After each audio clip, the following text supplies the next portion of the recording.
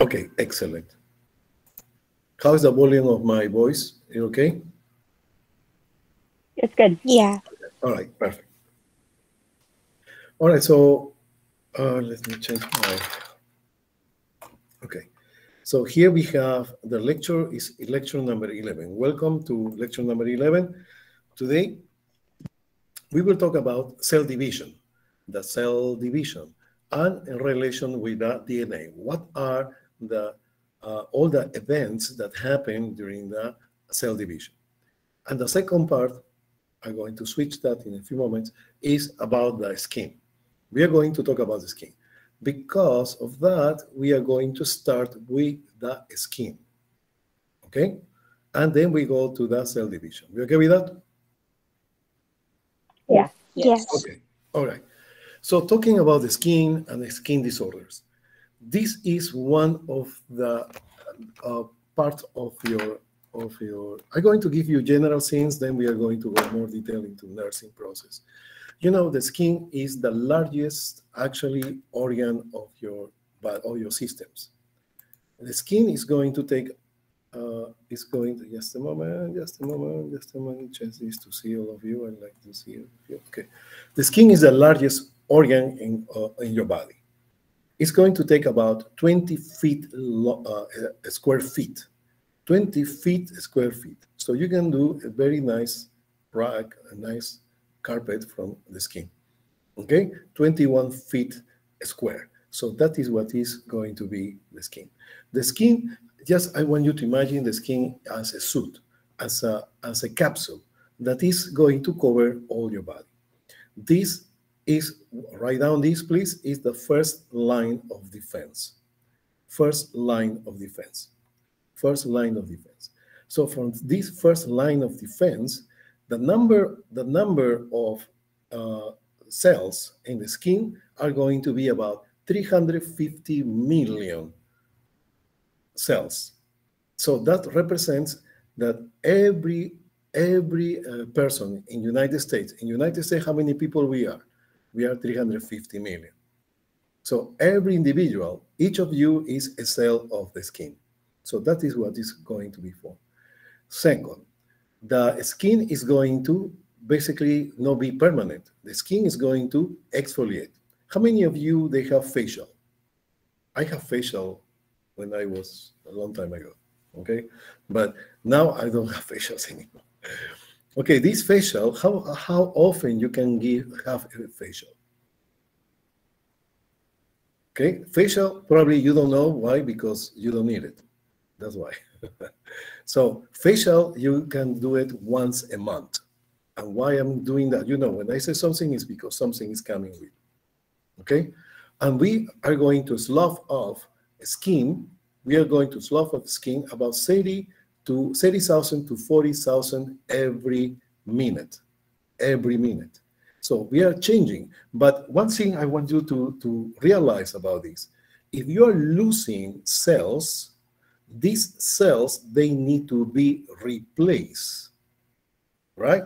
So you cannot slough and slough and lose all your skin. That cells, they need to be replaced. And that replacement is going to occur every 30 days, every 30 days every 30 days. Okay? Every 30 days. And that's why facial you can do only once a month. Because if you do more, you're going to go to deeper layers of the skin. And that is going to produce an irritation or lesions. You okay with that? Okay. So now the skin, they have 20, uh, 21 uh, square feet, or 27, I said 21 square feet. And under that skin, we have a lot of vessels, a lot of arteries and and veins.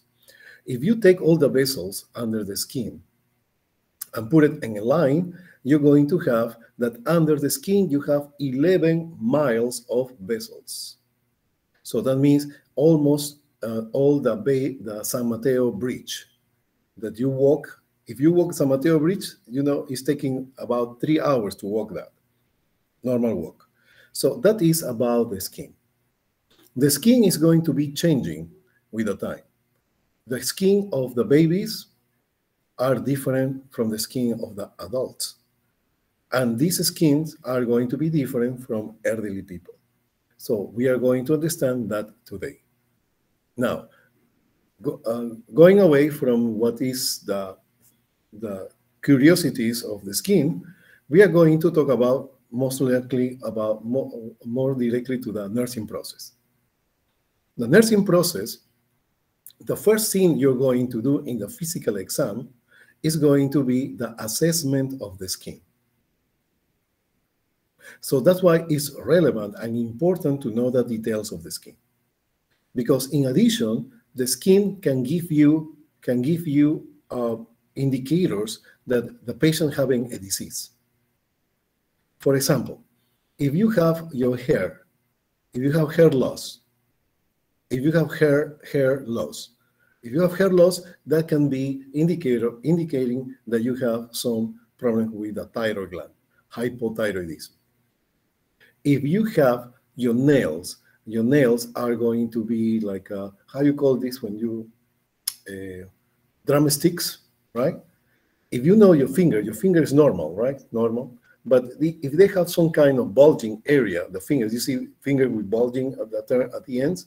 So these patients are having problems with, you can, that is telling you the problems, the patient is having problem, long data of respiratory problems or cardiovascular problems.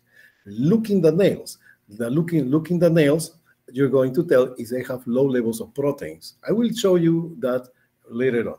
Well, the lunula. Lunula is the white portion of the of the of the nail. If there is too big, that means problems on the liver. And that is not homeopathic, it's medicine. Okay, it's medicine. Okay, now, uh, uh, what else? Uh, okay. Ah, the, the skin, uh, in addition to that, we have uh, bacteria. Bacteria. These bacteria, you have bacteria. Look at your arm, look at your hands, you have bacteria. This is the good bacteria. Is what we call the flora, the normal flora, F L O R A, flora, the normal flora. That is protecting against against in, uh, in, uh, infections. So when the bad bacteria, bad bacteria is coming to the skin, the good bacteria, that is the flora, are going to kill these bad bacteria. Okay, because they are competing for space. And that's how it's going to be the skin actually helping you to um, to um, uh, keep you healthy, right? One one more thing before we go to the to the nursing. Uh, when you uh, cook a chicken, the chicken you put it in the oven. You put the skin up or skin down, or doesn't matter. That tell me, I want to. I, am very good cook, by the way. Huh? Very good cook. You can tell me whatever you want to cook. I tell. Down. Huh? Skin. No, whatever. I I know. Up or down. Huh? Up or skin down. down. Skin down or skin up? I do skin up. Skin up. Skin up. Very well. So that's good. I want to say it depends what you're making. Depends, yeah. Depends. All right. It's gonna cook either way. Okay, so Rachel, very good. If you put the skin the skin down, after you cook, your chicken is going to be like a cardboard, very dry. It's going to be very dry. So the skin, if you put the skin up, the water with the heat or the moisture are going to evaporate. They're going to be blocked by the skin. So actually, if you cook the chicken with the skin up, the, the meat will be with juice. It's not going to be dry. And that is what happened with the skin in your body.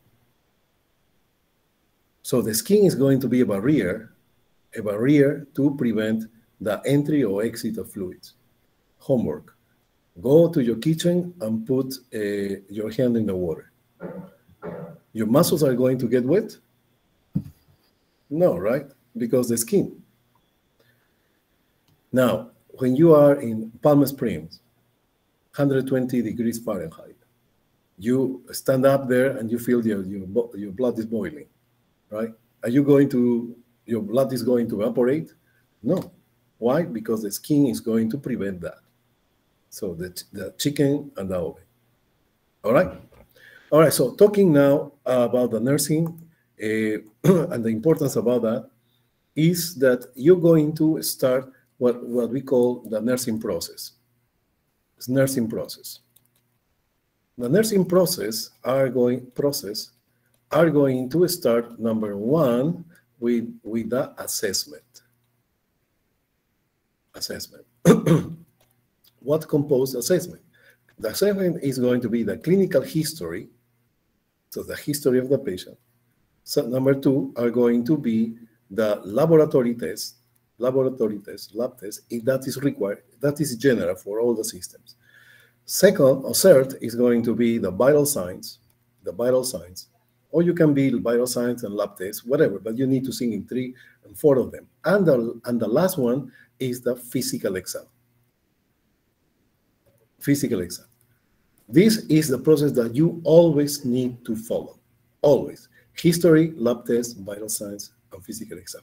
After that is coming the diagnosis, then it's going to be the planification, then the implementation, and then the actually the evaluation. So we are going to see that in another time. So assessment. Assessment, physical exam. And the first and number one thing you're going to check is the actually what we call the integumentary system. Integumentary system. if you want to make it short, you said the integumentum. Integumentum. Integumentum. Okay, so what is the integumentum? Integumentum are going to be your skin, are going to be your hair, is going to be uh, what else? your nails, and it's going to be the mucosa.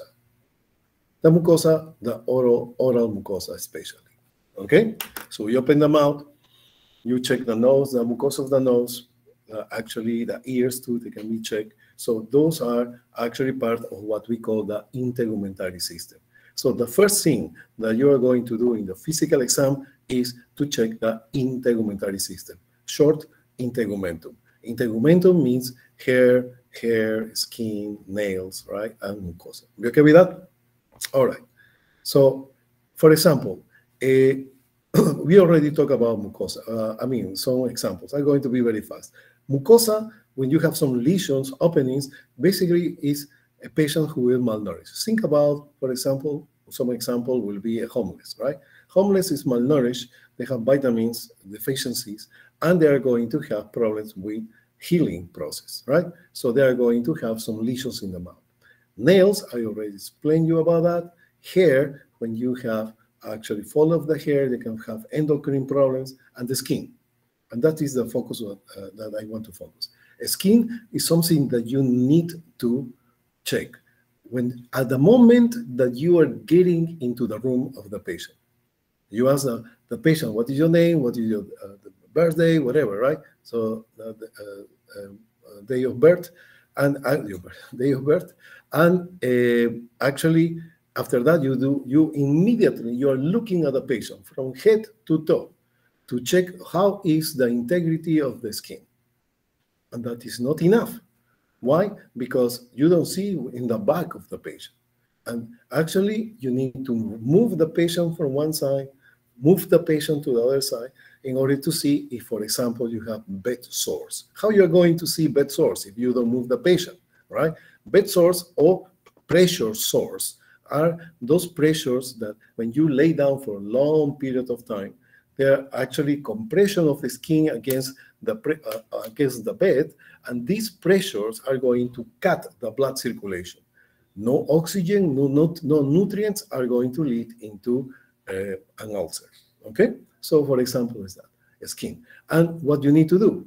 So patients who are very uh, uh, uh very severe disease or actually cannot move or in coma, so the indications on the doctor is telling you to move the patient from one side to change the pressures. And after 45 minutes, one minute, you're going to move the patient to the other side with pillows, etc. Right? So that is what we are going to, from the, that point of view, we are going to uh, uh, talk about the skin today. This skin we will talk about in anatomy physiology again but it's not the same. I'm going to add much more things. So this is the Christmas tree, Christmas tree, and we are going to put the decorations later on. All right. So let's get started with the skin and the skin disorders. Skin disorders, what are those? We are going to talk about burns, burns, and uh, ulcers. So that is the two topics that we are going to talk at the end of the skin. All right. okay, so number one, uh, sk skin is the largest organ of the body. Let's read now. And the first line of defense. Against what? Against microbes. Dehydration, that is a chicken in the oven, right? And harmful chemicals around you. So basically, it's a suit. It's going to basically protect you with the, uh, with the, uh, uh, from the environment. Okay. All right. So how many layers we have in the skin? In the skin, I'm going to go here. The skin are having three layers. Three layers. Number one, the epidermis. Epi means above. Is the outer layer. We call we don't call outer layer. We call epidermis because it's outer already. We know that. Dermis is the middle layer, or under the, the epidermis, and then we have the hypodermis. And we are going to elaborate each of them. All right, so for this, I want you to see epidermis here. So look at this. So what is the epidermis? So people get confused on this white area, say, oh, this is epidermis. No, that is epidermis, yes, but there is not, there is more than that. So I'm going to draw it now. Epidermis is this. All is the epidermis, epidermis, epidermis, all of these, epidermis, epidermis, epidermis, epidermis, epidermis, epidermis, epidermis, all these two epidermis, of course, right? Epidermis. So that is the epidermis. So the epidermis are going to have, please write it down, this is for the exam, are going to be having dead cells. Are dead cells. Uh, sorry. Uh, before that, the epidermis is going to have five layers. Five layers. Five layers. One layer, two layers, three layers, four layers, five layers. So we have five layers. Five layers. We're getting five layers. Number one. Number two, the outer layer, the outer layer is called the stratus corneum or stratum, stratum corneus, corneum or corneum, the same, stratocorneum. This is stratocorneum are dead cells, are dead cells, dead cells. Okay, so where is the stratus corneum? The stratus corneum is just this. That is one of the five, I said five layers of the skin. That is a stratus corneum. These stratus corneum are going to contain a protein, question for the exam, contain a protein called the keratin. Called the keratin. Is the keratin. Keratin keratin. Okay, keratin is a protein that is inside of the dead cells. Okay, so the stratus corneum, that is the outer layer of the five layers of the epidermis, the more outer is the actually the cells, dead cells who contain the keratin. Okay, so these are the cells who are going to slough off. Every 28 days, they are going to slough off. So I'm going to make some remark here. We have the first layer, that is the stratus corneum, right?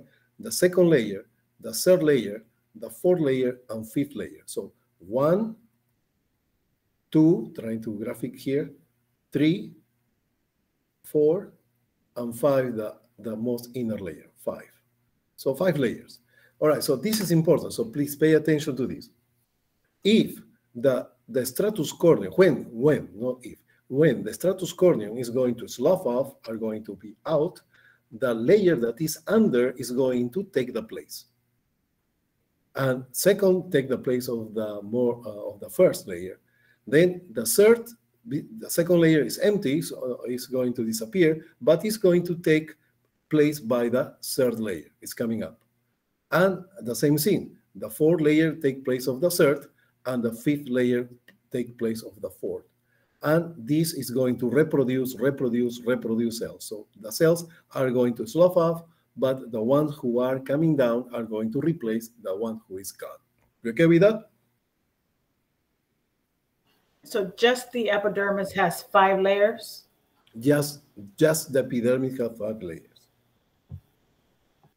And the skin, I said they have three layers. Epidermis, the epidermis five layers. We have the dermis and the hypodermis. You okay with that? Yes. Hello? Yes. Yes. Okay. The keratin, in addition, is a protein that produce give is going to make the skin impermeable. Impermeable to the water. Impermeable to water. Okay? All right, so all these two lines you you need to remember very well. All right, so let's go a little bit from what is coming in anatomy, but I'm not going to tell you everything. But I want just you to uh, think about the babies. The babies they have a very thin skin, right? So, oh, baby skin. Oh, you have a baby skin. A baby skin. Now, other person they have. Oh, your skin is older, right? So it's an early, early person skin, correct? And then the adult. So we have differences between skin of early stage of, of life, middle age, or adult age, and the early age. So why is that? Why is that? Because we have, I told you, adult, we have five layers, five layers. But in babies, the skin is more thinner. It's much more thinner. It's much more thinner. Why? Because instead to have five layers, they have only four layers. Four layers. So what happened with the fifth layer? The fifth layer is going to be developing, still in de develop. So later on, when you get adult, boom, you have five layers. You okay with that? Now, when you have adult, you're adult, you have five layers, and when you get older, when you get older, you're going to have now instead of five, you have four.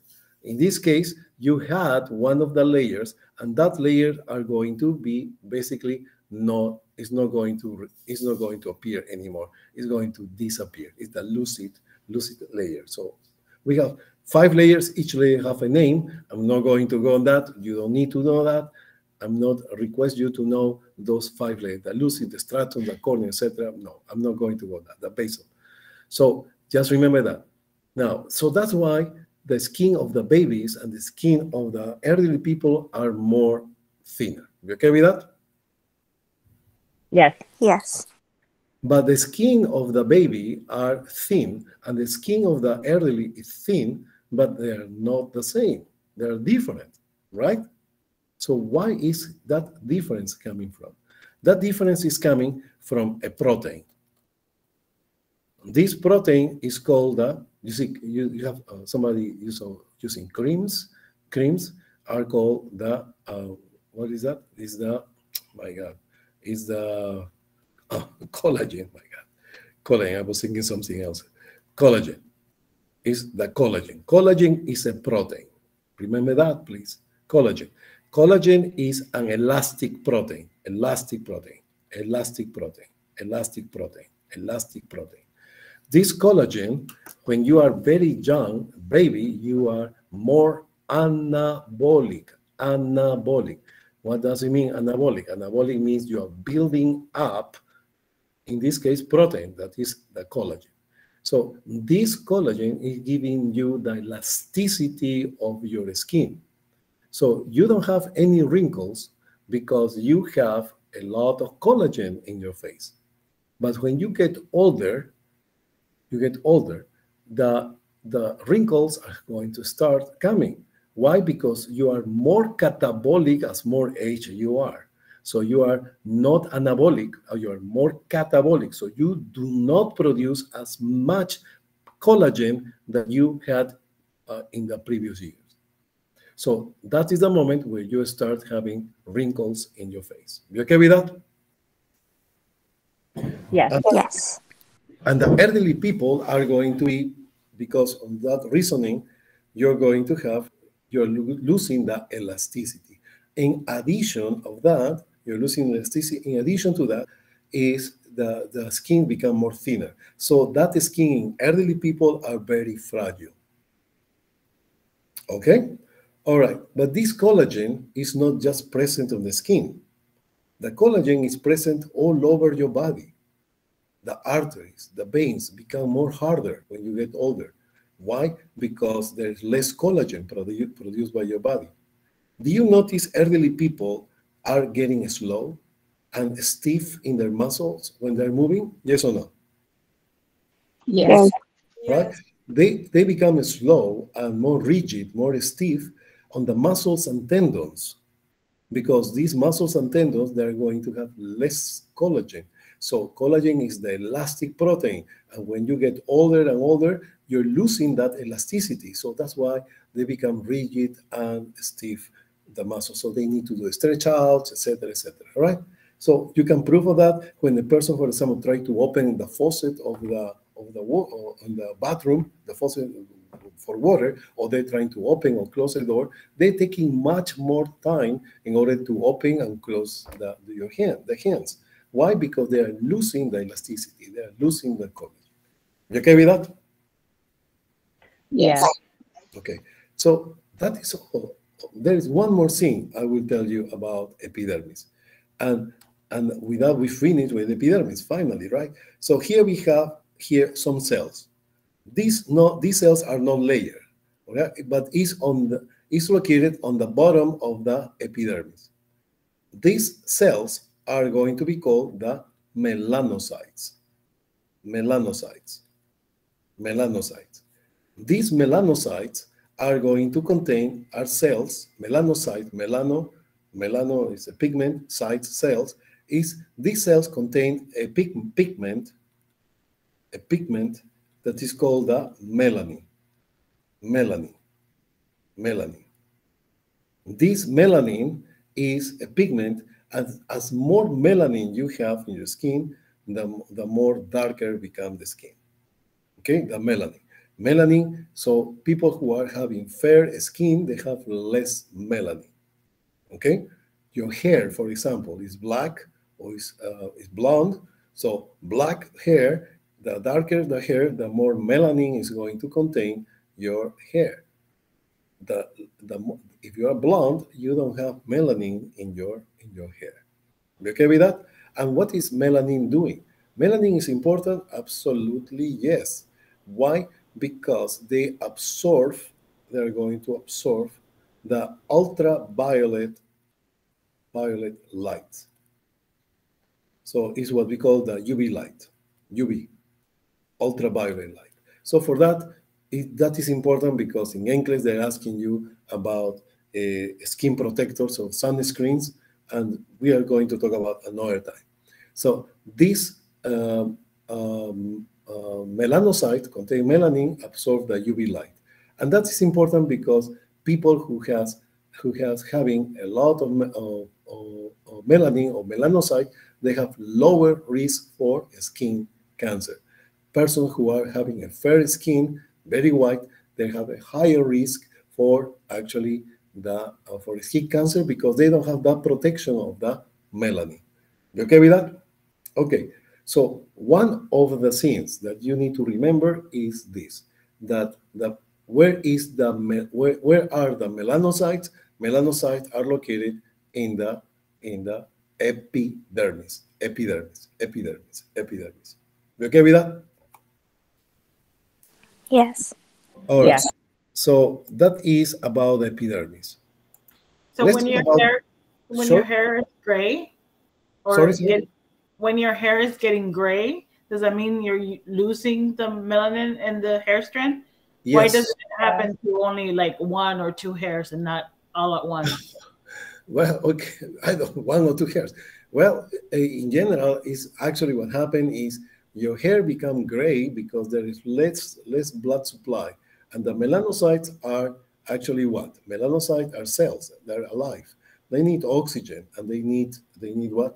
They need uh, um, nutrients. So if you have with the time, you start to have less uh, blood supply to the scalp of the on, on your head. That is going to start become gray your hair. Okay? Thank you. Sure. All right, so let's talk about the dermis. And let me see here, we have the another um, uh, cartoon here. we have the dermis. Look at the dermis. All right, so listen to this. The dermis is where we have everything.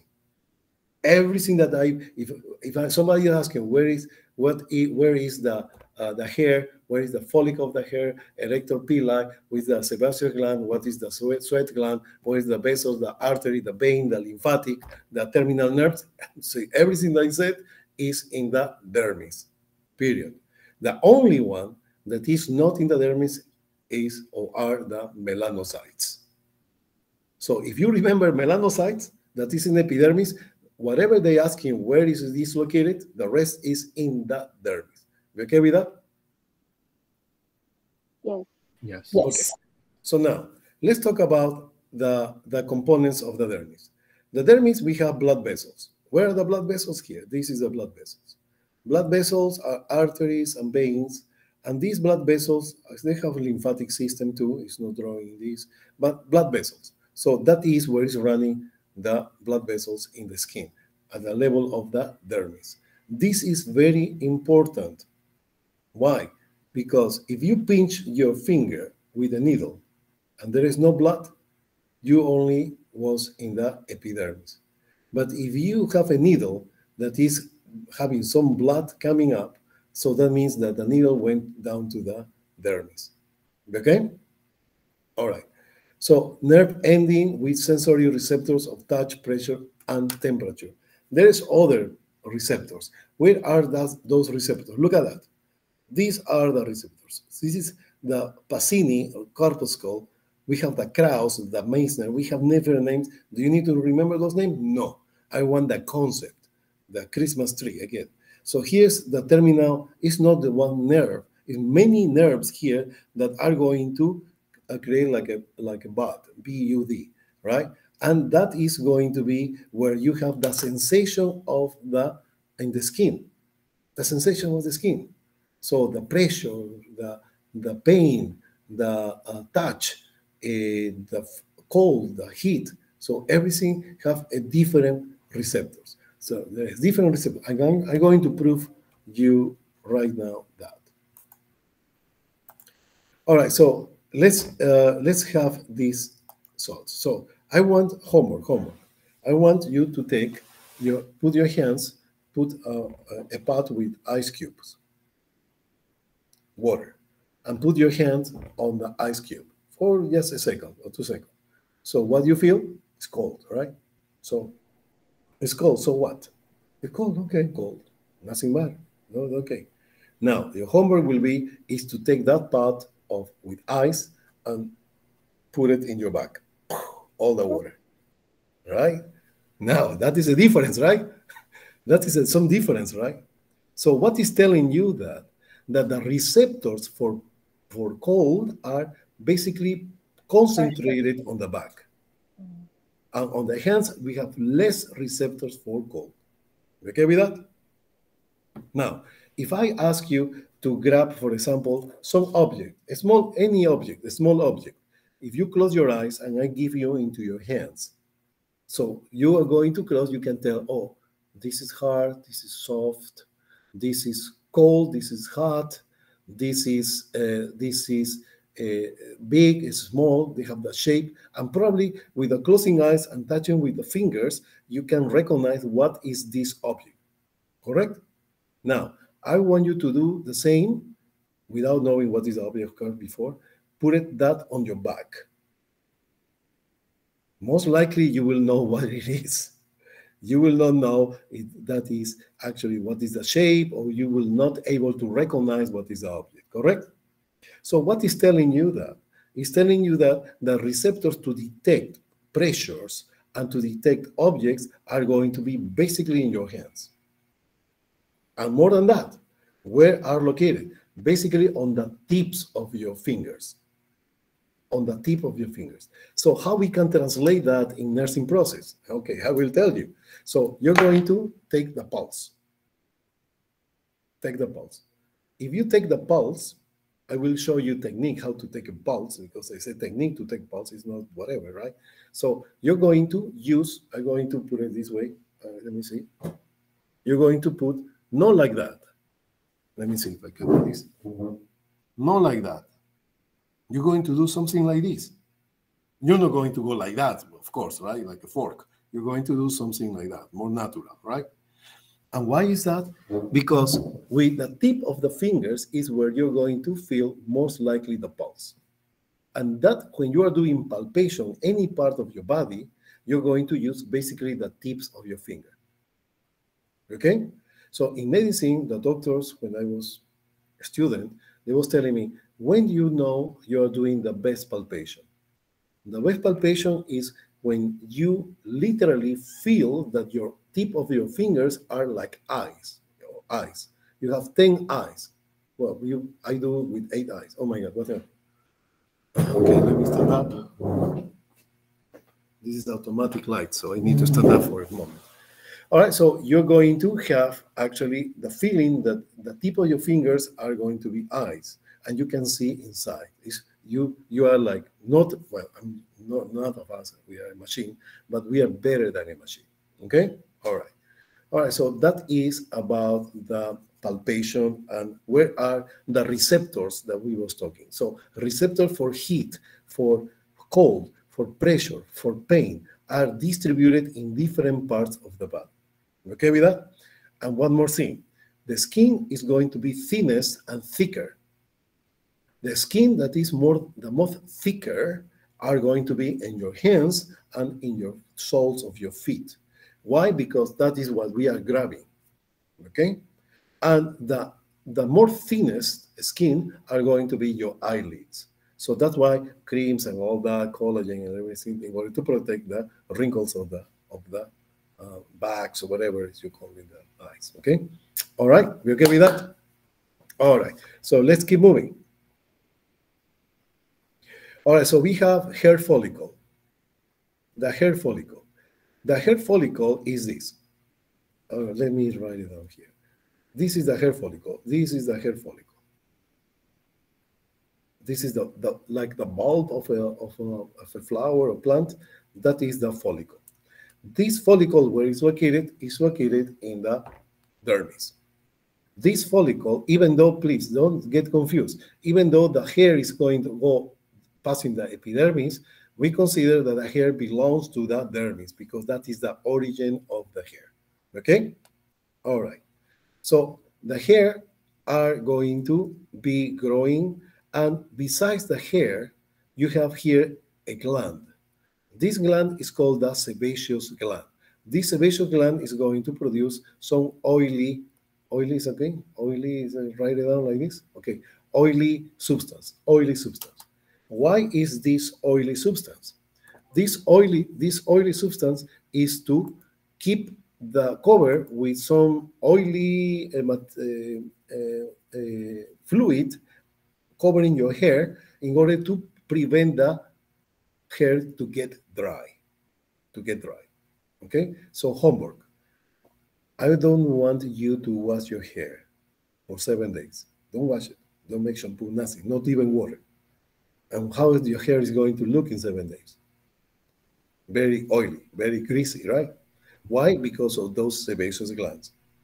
So that's why if you wash your hair too too often, your hair is going to get dry because you are getting rid of that oily substance that by nature is being there in order to protect your hair from dehydration of the hair. Got it? Okay. Next.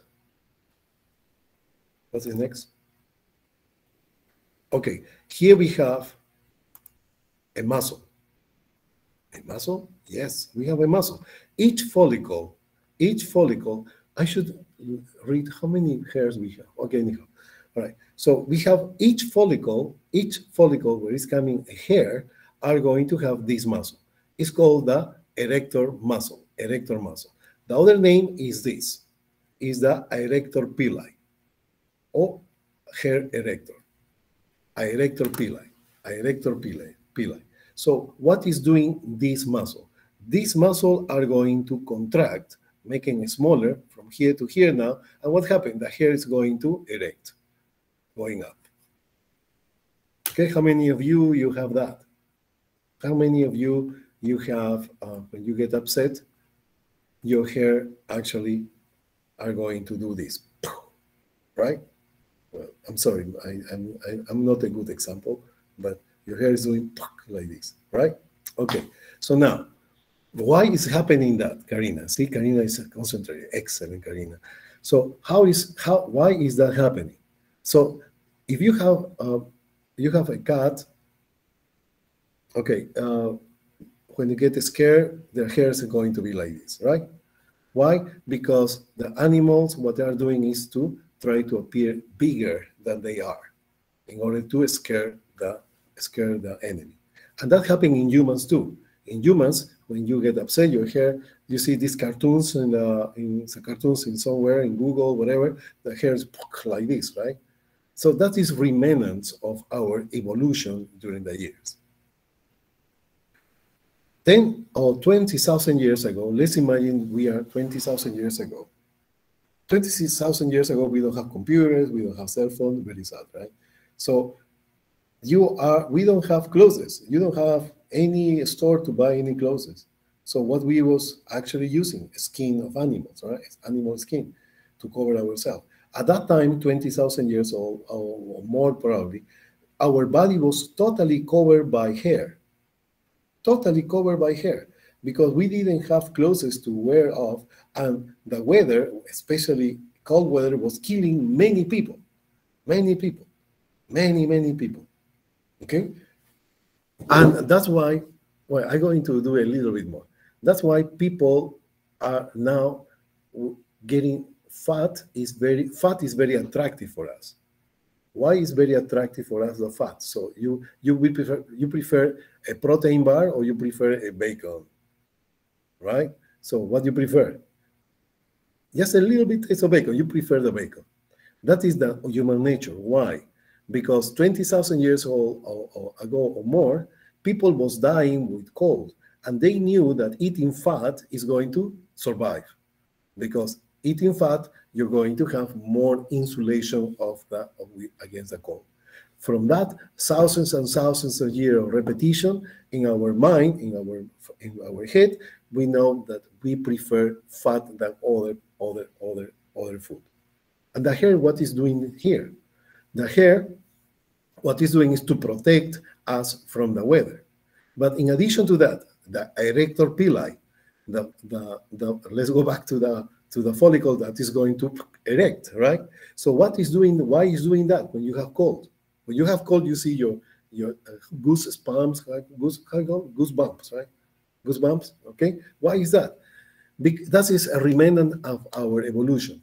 Because when the hair, when we was having a lot of hair, the hair was doing this erect. That this moment is where you are going to trap some some bubbles of air. You trap air, bubbles of air, and these bubbles of air is helping you to insulate you from the from the cold. Okay, so that is the erector pili, erector pili. Okay with that? So where is the erector pili? Is located in the dermis, in the dermis. Okay? yeah Yes. Okay. So now we have the sebaceous glands. We already talked about the sebaceous glands. This is the sebaceous glands. We have uh, should be this in this um, same um, line drain oil to moisturize the hair. We already talked about that. Sweat glands into the hair follicle skin. So here we have, in addition, the sweat glands. This is the sweat gland. When you sweat, these sweat glands are going to start where is going where is located in the dermis, but they're going to drain in the surface of the skin. So what for we sweating? Do you know why we're sweating? I'm going to explain you after a few moments. Okay, so the and then so that that is all about the dermis. Don't forget about the the the nerve endings. Don't forget about nerve endings. Don't forget about the the the vessels the the the the, the arteries and veins. Somehow they can you can help to remember vein that vein artery nerves. And then you can companion with the follicles with the glands sebaceous glands with the sweat glands sweat glands is liquid fluid sebaceous glands is oily. Okay? All right. Tell me, where is, where are the melanocytes? Everybody, where are the melanocytes? Epiderm in the Epidermis. epidermis. The rest, is in the dermis. You okay with that? Yes. Now, just finishing with the hypodermis. Hypodermis is the, oh my God, it's 8, 820? Oh, okay. Talking uh, hypodermis, this below this uh, hypodermis is called the subcutaneous tissue. Is the other name, subcutaneous tissue. This actually is loose fat.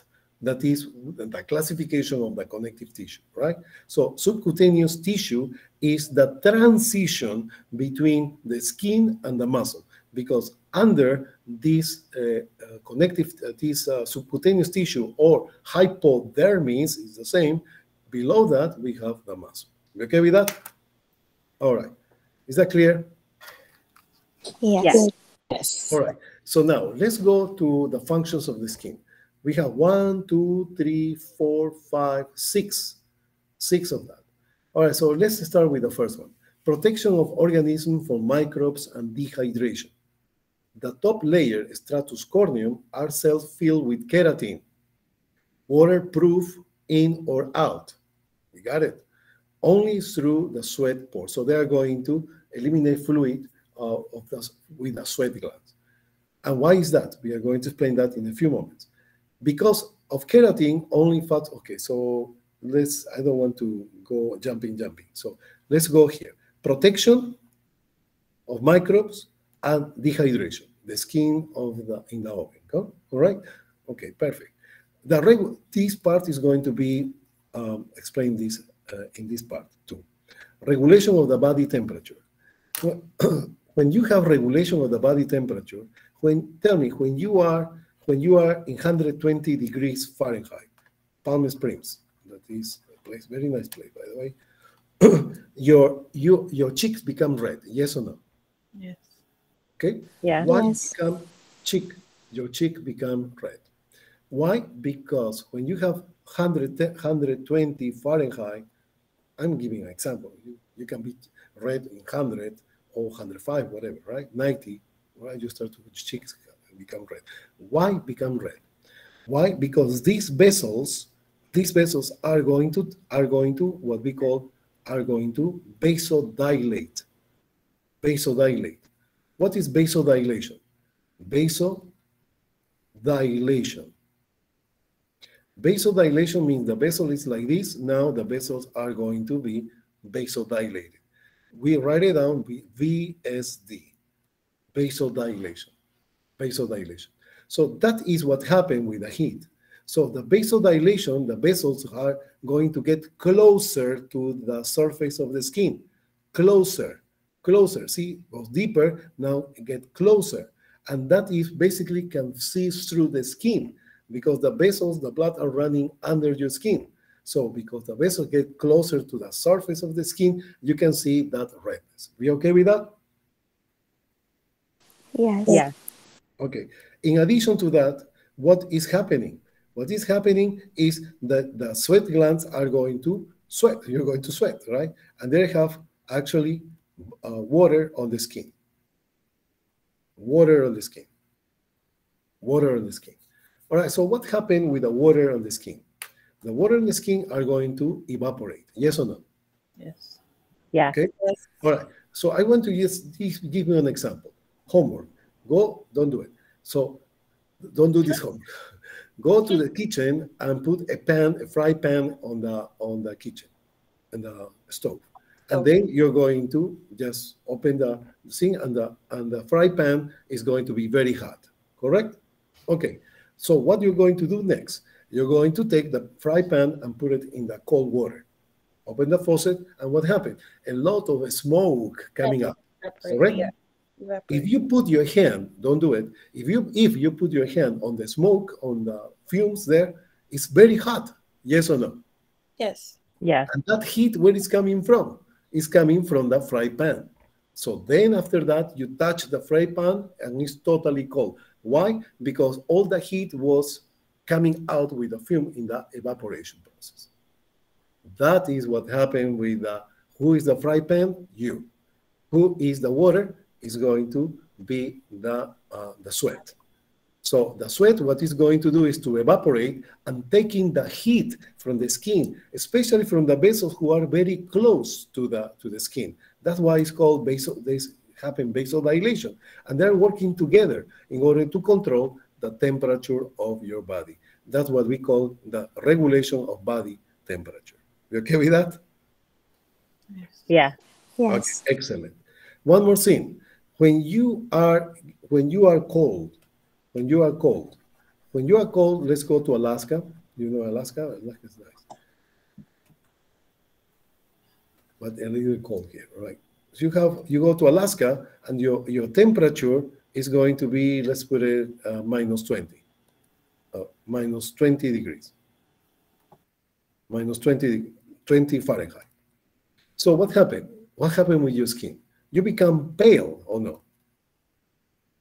Yes. Right? Oh. When you become pale, that means these vessels, the vessels, the arteries and veins, what are going to do is the opposite. They are going to go into vasoconstriction, very thin. It's going to be called, I'm going to write it down, vasoconstriction. Vasoconstriction, the vessel is like this, now the vessel is like this. So it's going to decrease in size. Why? Because they're and they're going to get more deeper, are going to get deeper into the skin. Why they do that? Why did they do that? Because they want to keep the the temperature of the on, on the on, of the blood, making the blood flow going deeper into your body. You okay with that? And that's why because we go they go deeper away from the skin, you become pale. You okay with that? Yes. Yes. Yes. But after a while, when you keep, for example, uh, uh, homework, homework, go and put some, um, some, uh, uh, I mean, bucket with ice. And when you see, when you were a kid, right? When you were a kid, uh, let's make a competition. Who can stand more in the parties, right? Who can stand more with the hands in the ice, right? Right? And that become very painful, right? And it become red. Do you see red, blue, even red, right? Red, then blue. So why become red? Why become red? Why? Because when you have cold, the vessels are going to produce vasoconstriction, but this vasoconstriction cannot cannot be uh, cannot be for a long period of time. It's a reflex that after certain time of cold, the vessels are going to dilate as a reflex, and that produces redness on the skin.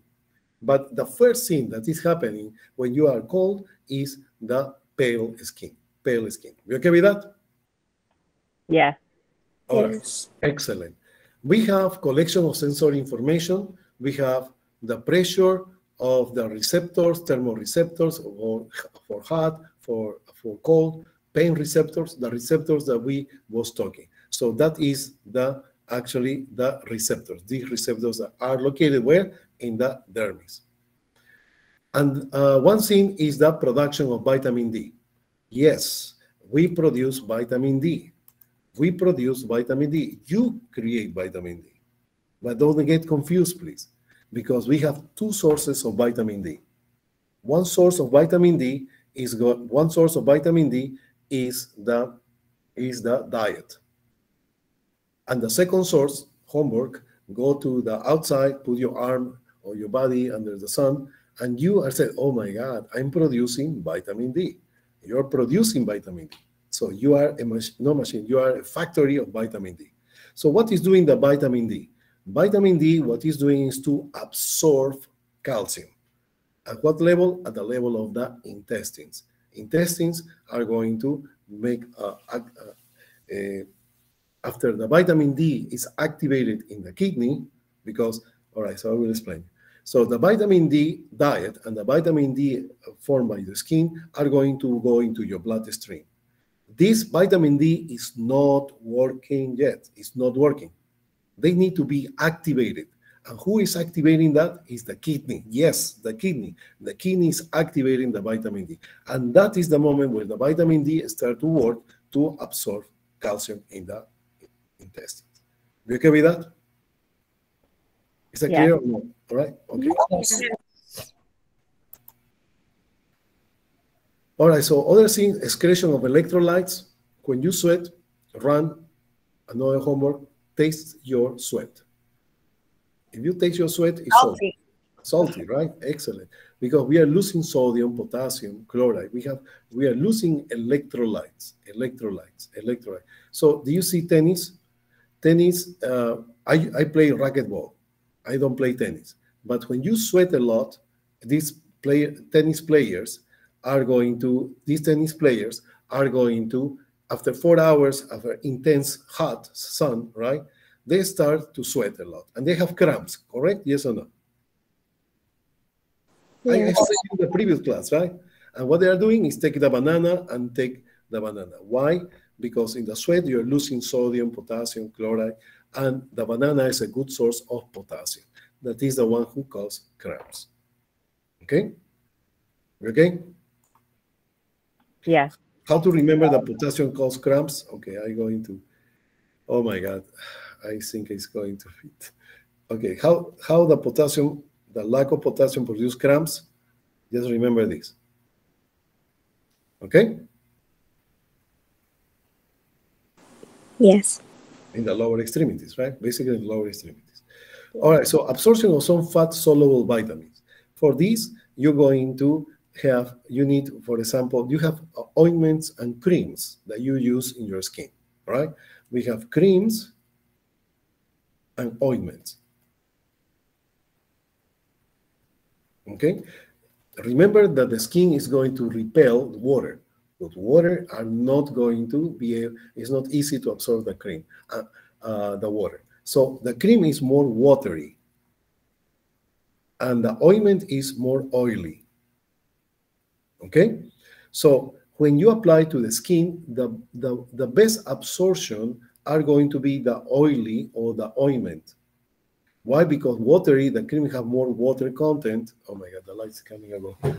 So the, the, the, the cream contain more water is going to be a little bit more difficult to absorb. For the cream, you need to rub it very much, like two, three, five, five minutes in order to make the ingredient get absorbed by the skin.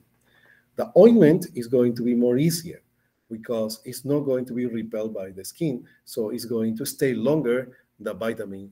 Uh, so uh, some some products that we are going to mention in a few moments. So why is called ointment? Why oil? How to remember? Oil, oil, oil, ointment, or, or oily. Oily. Ointment is the cream. You okay with that?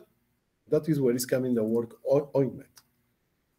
Okay, so uh, for example, you have vitamin. Uh, the vitamins who are going to be absorbed easily or are going to be the fat soluble vitamins. We talk about that, right? Fat, fat soluble vitamins. What are those?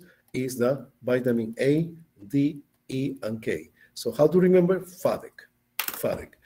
All right. So saying that, let's go to the uh, ulcers. The ulcers now that you know very well about epidermis, I mean the the, the skin, you're going to have uh, basically, uh, this is very easy.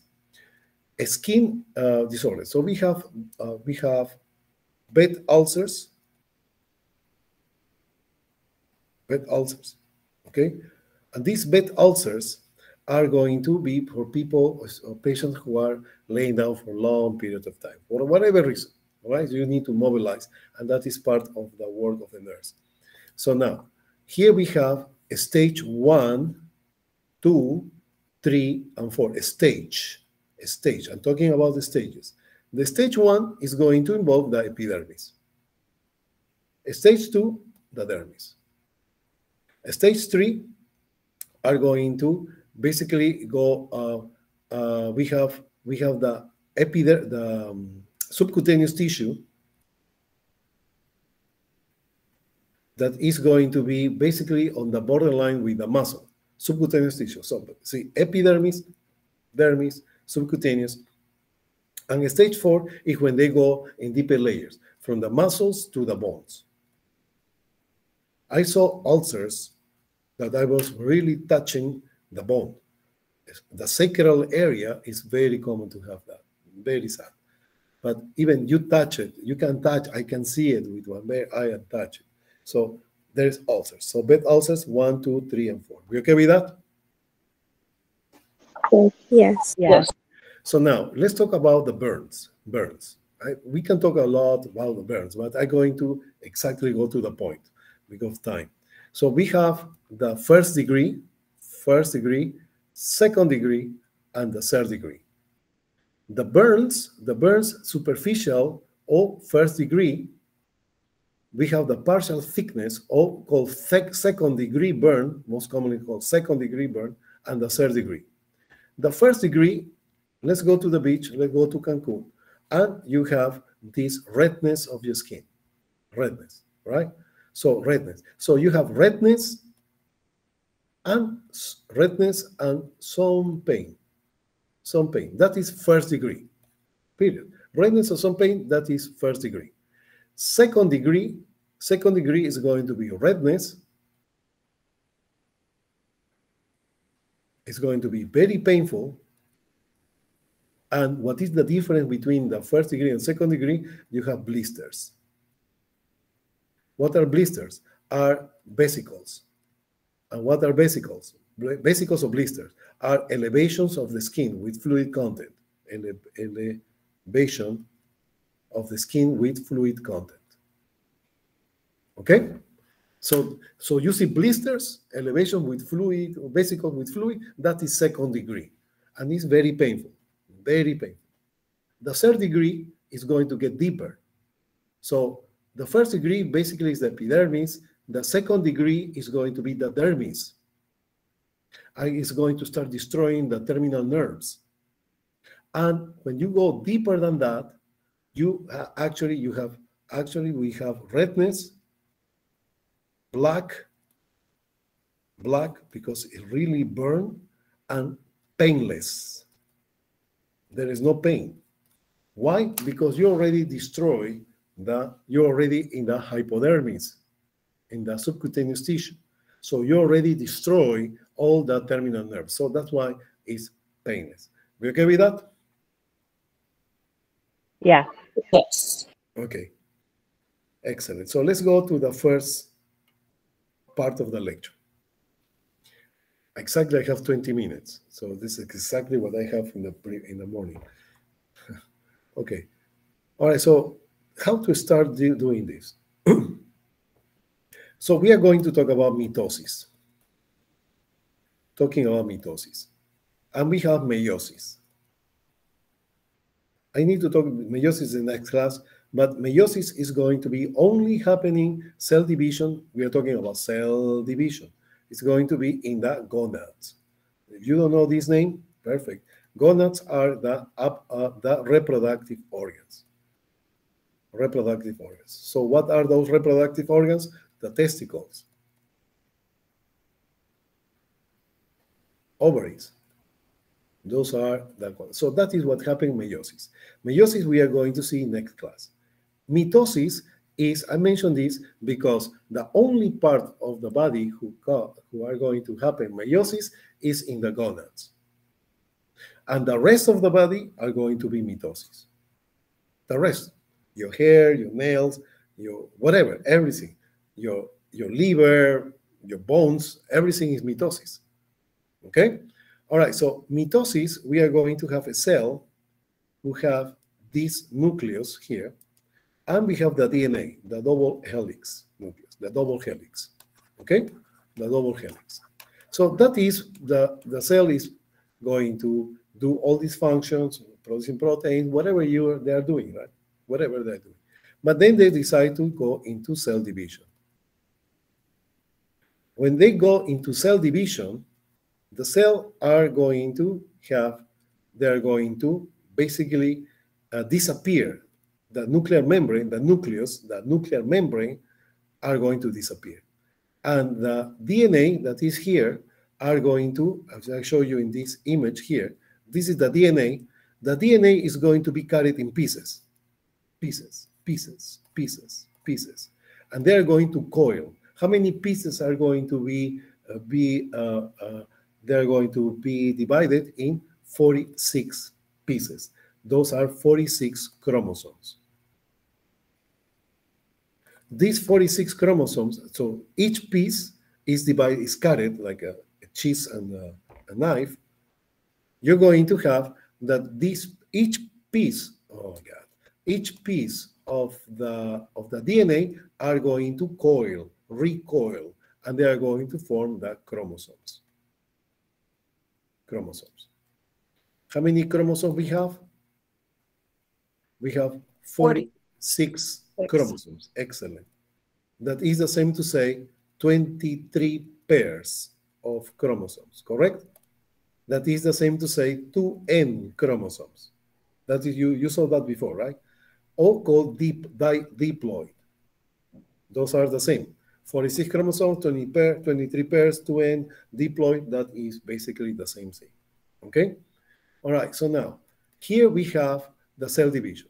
So now I want to tell you, if you take the DNA out from one cell only, only for one cell, we have 100 trillion cells. If you take the DNA for one of these cells as a cord, like a wire, it's going to take about, uh, how much? Uh, six feet long. Six feet long. Can you imagine? 100 trillion cells.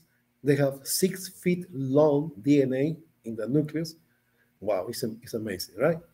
All right, so these cells, I want just to let you know, the DNA double helix are going to turn into chromosomes, into chromosomes, and they are, and when they are going to finish the cell division, they are going to return. They are going to return the nuclear membrane, and the DNA in chromosomes are going to put together, and they are going to reconstitute the DNA double helix.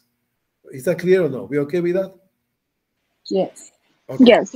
Now, if you have, for example, if you have a, um, a lace from your shoes, sometimes it's, when it's too long, it's going to get tangled. Yes or no? But the DNA never get tangled. So how is that happen? Because the, the DNA is to go is going to be organized in some way. What is that way? The way that is going to be like this. Look at that. So this is the length of the, the yellow, yellow is actually the, the DNA, and they're going to be organized by, by these round structures. They're like balloons that are going to be around, are going to, the DNA is going to get around, wrap around of these proteins. These proteins are called the histones. Histones. Histones. So what are histones? Histones are proteins that help to organize the DNA. You okay with that? Yes.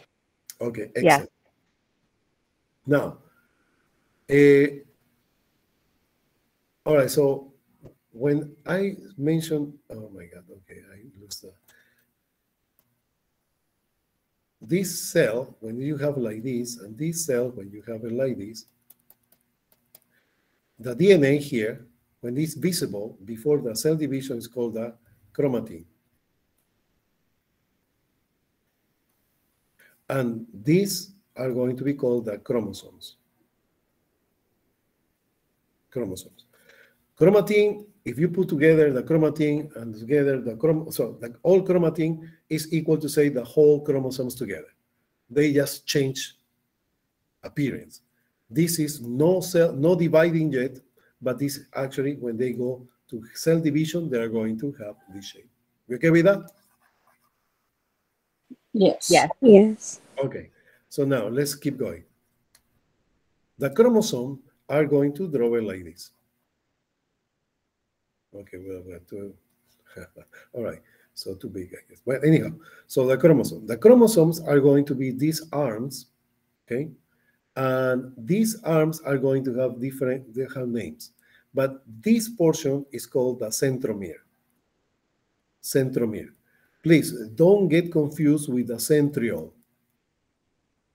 The centriole. The centriole, remember, are those organelles who are going to go to the poles of the cell. They are going to be the cowboys with the, with the cows. The cowboys are going to be the centriole who are going to lace the chromosomes to pull it when after the cell division happened. So after the chromosomes uh, multiply, they're going to pull to the poles of the cells in order to separate the cells and complete the cell division. All right, so don't get confused for that. Centromere is the central portion, central portion, is the central portion of the chromosome. Okay? So now, here we have one portion that is important. This end of the chromosome. This is called the telomere. Very interesting. So listen to this, huh? Telomere. Telomere with E. Telomere. No, oh my God. Telomere. The telomere. This telomere, telomere, in every sing single cell division, in every single cell division, the cell division one after another, the next cell division are going to have a smaller telomere. So, for example, the first, the first, you have a division right now. Division. This is all this what I wrote down. Uh, right uh, is actually the the the telomere. The telo, the the telomere are going to get shorter and shorter for the next cell division. Shorter, shorter disappear. Oh my God. Okay. Uh, so the first division are going to be the chromosome like this. The second division or next divisions are going to be smaller. And the next division is going to be smaller. Why? Because less and less of the telomere are going to go away. There is a moment they're so tiny that the cells are not able to reproduce, and what happened? Death.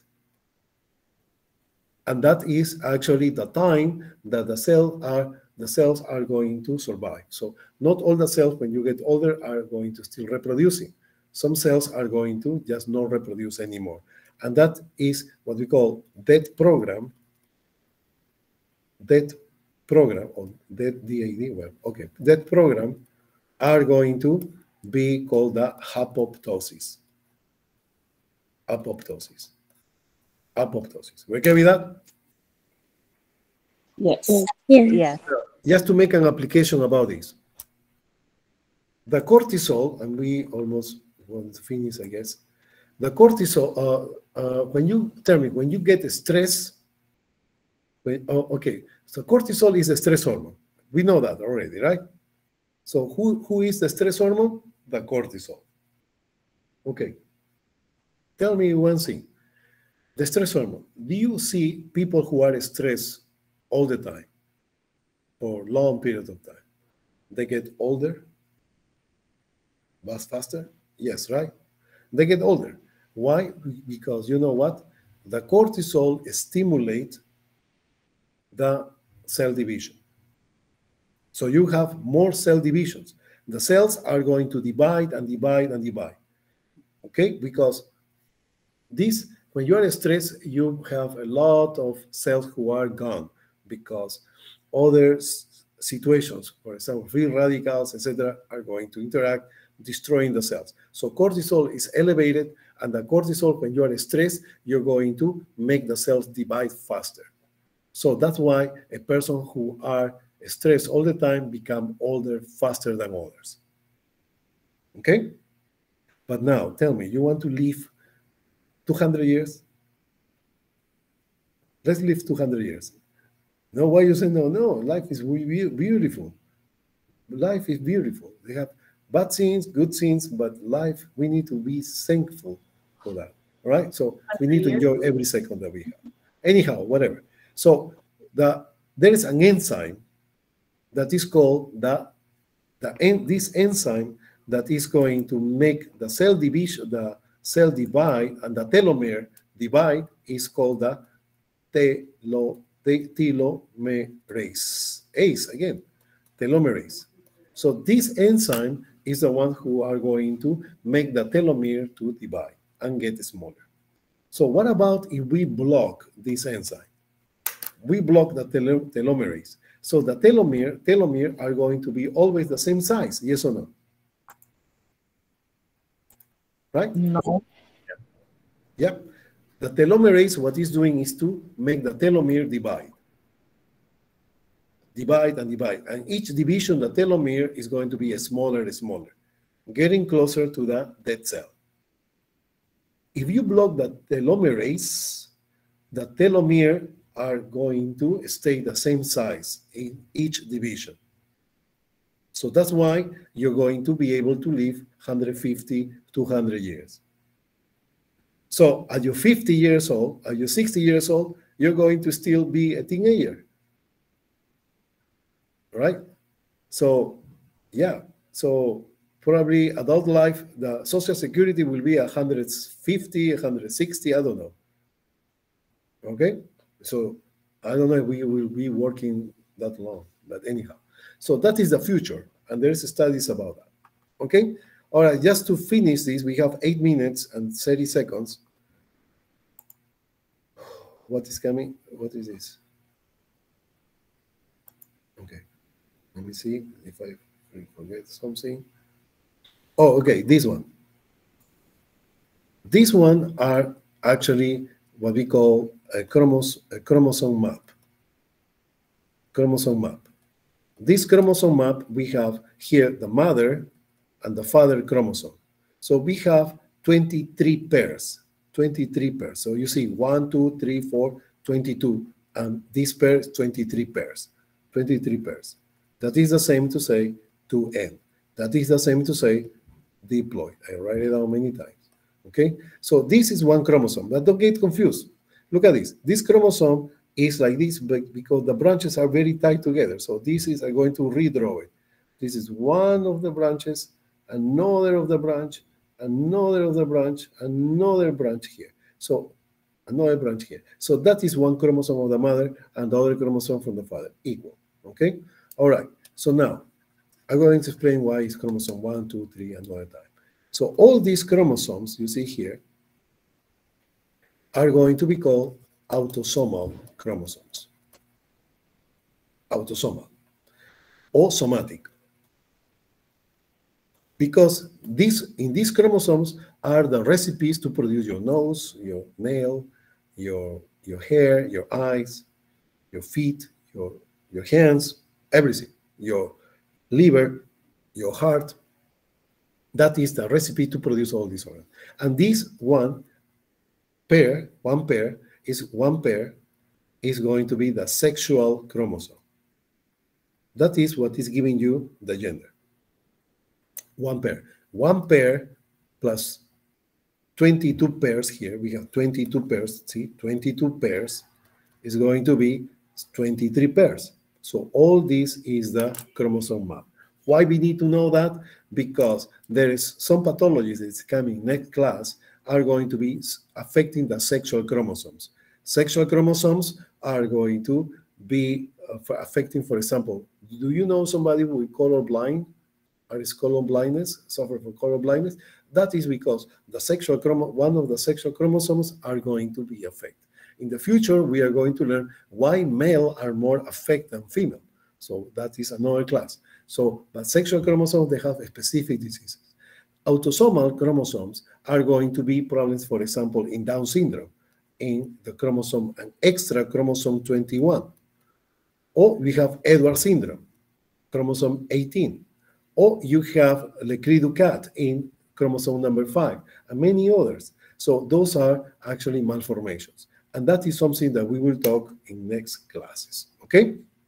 Oh my God, it's dark again. I need to stand up. Okay, move, move. Okay, there you are. All right, and the last part that we, I have five minutes. We are going to talk about the cell cycle. All right. All right, so I'm going to make a summary. And with that, we complete the lecture today. Okay?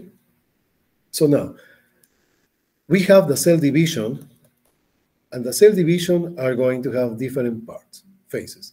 Number one, the prophase. Number two, the metaphase. Number three, the anaphase. And number four, the telophase. Give me names with, with because students have problems to remember the difference between anaphase and telophase. Telophase, telophase, give me words with telophase, with telo. Telo, telescope, television, telephone, right? So those are actually, telo means the distance. Television, you see to the distance. Telescope, the same. You see from the distance, right? Uh, the distance, uh, uh, far away.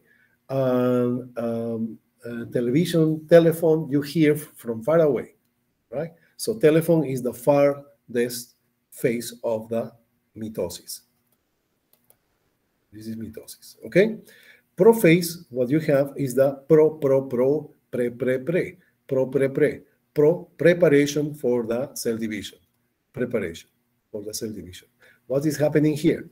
So you have the cell, the I'm going to draw here, the nuclear membrane is going to disappear, and they are going to start forming the chromosomes, the chromosomes, and they are going to multiply, are going to duplicate the chromosomes, duplicate chromosomes, duplicate chromosomes. They're going to duplicate. Then what happened in the metaphase? In the metaphase, the chromosomes are going to align in the equatorial line. Equatorial line. Where are these? Here. So we have here, we have here, we have already 46 chromosomes that are going to duplicate. We have 92 chromosomes. Here in this metaphase, we have aligned 46 in one side and 46 in another side. Then is coming the centrioles, the centrioles, and they are going to lace the cows, I mean the chromosomes. And then what happened in anaphase, they are going to, the centrioles start to pull the chromosomes. They are going to initiate the separation, initiate the division.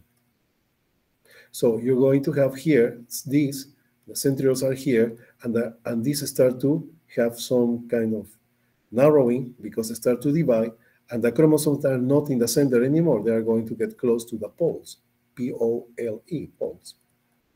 And then what happened? The telophase is where it's going to have the strangulation are going to totally separate the cells with the chromosome here. At the end, what you're going to have two cells with equal number of chromosomes. All this process is called the cytokinesis. Question for the exam. Okay, thank you so much. All right, so all right, so thank you so much for uh, being here. Thank you for your effort and for your time and the dedication for the course. I hope that this class, I'm not going to ask everybody what is happening with the class, how you feel about the class.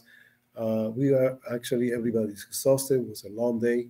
And uh, thank you so much. If there is any comment or anything you want to add or you want to tell me, you can call me or you can stay until the end of the of the of this uh, recording. I'm going to stop the recording right now. And uh, yeah, for at this moment, I'm going to say help, uh, thank you so much for coming, and I wish you to have the best uh, week. And um, yeah, Thank you. Thank you. All right. Thank you. Thank Thank you. Thank, Thank you. you, Dr. G. Thank you. Good night. Yeah.